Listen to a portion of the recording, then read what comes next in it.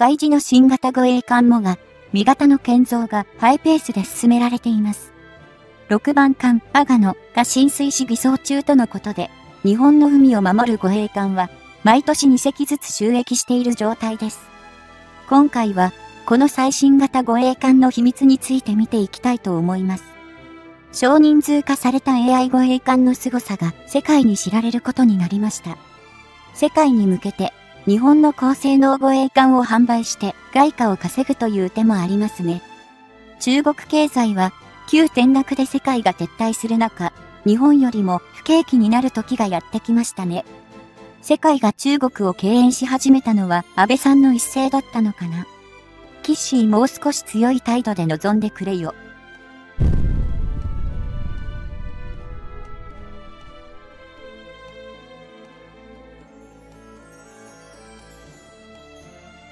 前述のように、海上自衛隊の新型護衛艦もが味型の建造が早いペースで進められ、2022年3月には、2番艦熊の、翌4月に、1番艦でネームシップの最上、年末12月には、3番艦の城が収益し、日本の海を守る一員に加わりました。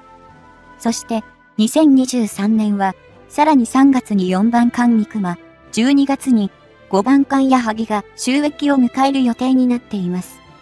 そして、6番艦阿賀野は2024年3月に収益を迎えることになっていて、矢作と阿賀野は三菱重工業者中崎造船所で浸水し偽装作業中ということです。も、ガミ型護衛艦は、1年に2隻ずつ継続して増加していっている状況ということがわかりますね。当初は22隻の建造が見込まれていました。運用期間は収益から40年間と想定されていましたが、防衛省は新型 FFM の建造は12隻と公表しています。も、が、味型護衛艦は海上自衛隊の艦艇として今までになかった FFM という艦種記号を冠しているのです。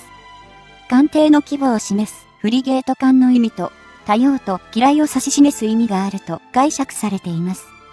FF はフリゲート艦を表し、艦艇の大きさは駆逐艦よりやや小さく、コルベットより大きい公用護衛艦で、対戦、防空能力を持ち、揚陸部隊、補給部隊、小船団など艦隊護衛が主な任務となっています。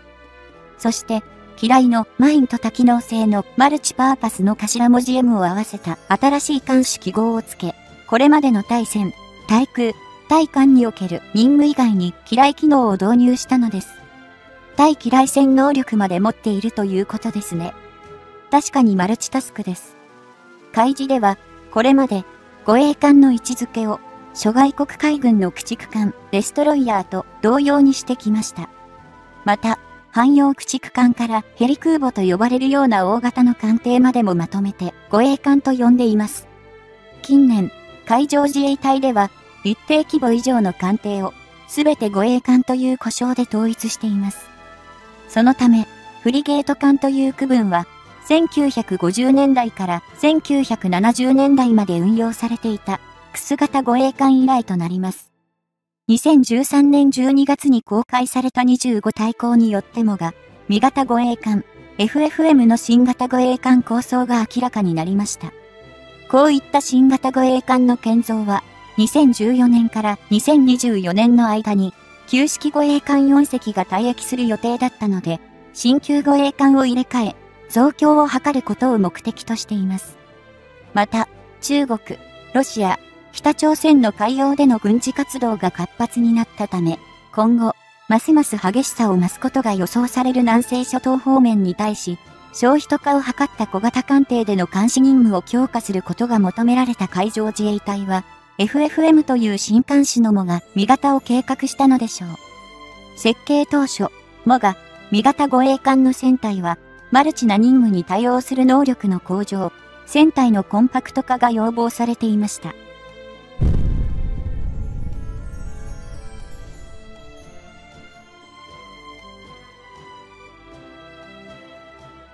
2015年、平成27年の研究開発の時点では3000トン型護衛艦と称されていましたが、最終的には排水量がおよそ3割増えて大型化し、3900トンの大きさになったのです。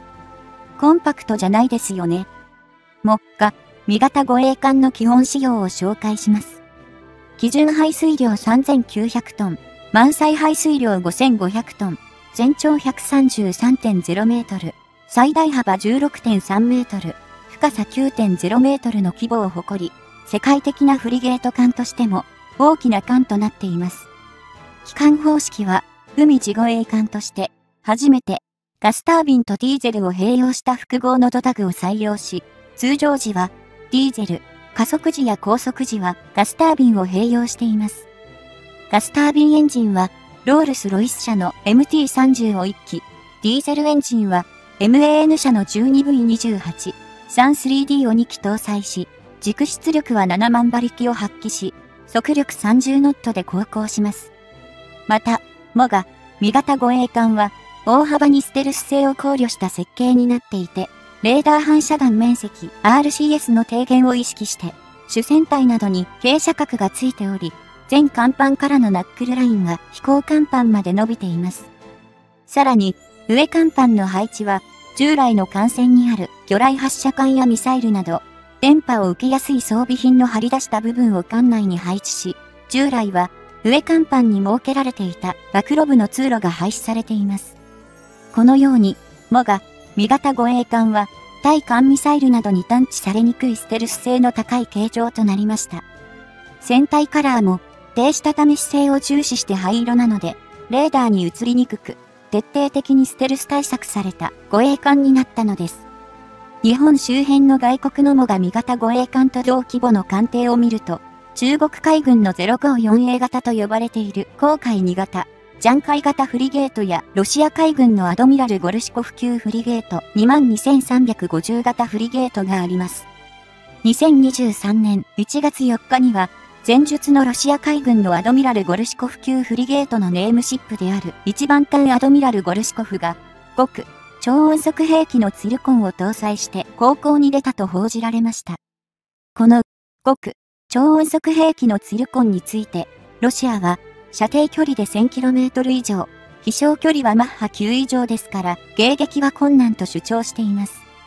プーチン大統領としては、アドミラル・ゴルシコフに、極、超音速兵器のツィルコンを搭載して航行することで、ウクライナ戦争で対立しているアメリカをはじめとする北大西洋条約機構 NATO を牽制する狙いがあったとみられます。アドミラル・ゴルシコフ級フリゲートは、基準排水量4500トン、満載排水量5400トン、全長 135M、全幅 16M の規模ですから、目下、味型護衛艦と大きさに差はほとんどないことがわかりますね。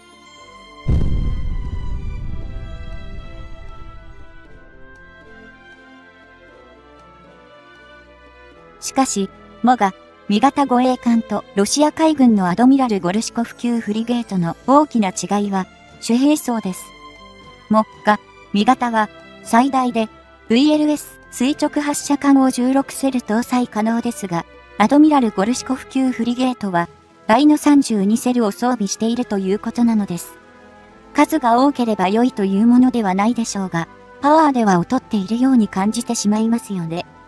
目下、味方護衛艦の兵装の特徴は、水上戦闘艦として中武装に頼らず、対空、対艦、対戦闘のバランスの取れた兵装と、機雷の除去と不設の能力を付与された多用途艦といところでしょう。このように文字通りマルチタスクナモが味方護衛艦ですが、乗員は90名と少ないのです。前級のアブクマ型護衛艦の乗員は120名なのですが、も、が味型護衛艦は、これよりもずっと艦隊がビッグサイズなのに、90名と少ない人数で運用できるほど消費と化が図られているのです。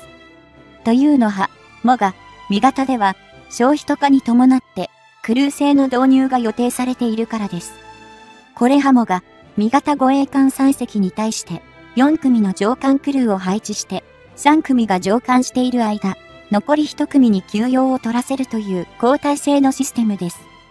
定期検査や修理などに対応しながら稼働席数を確保できるだけでなく、乗員の休養期間が確保されるシステムと思われます。自衛隊も働き方改革というわけでしょうか。今後、少子高齢化傾向はますます加速するでしょう。そんな中、慢性的な人員不足に直面している海上自衛隊にとっては、必要数を充足させることは難しく、こういったことを見越して消費と化を実現した初の護衛艦となっています。も、神型護衛艦シリーズは、今後、建造される艦のすべての偽装が同じ時期になるように計画されています。これも、海上自衛隊でも初の試みということです。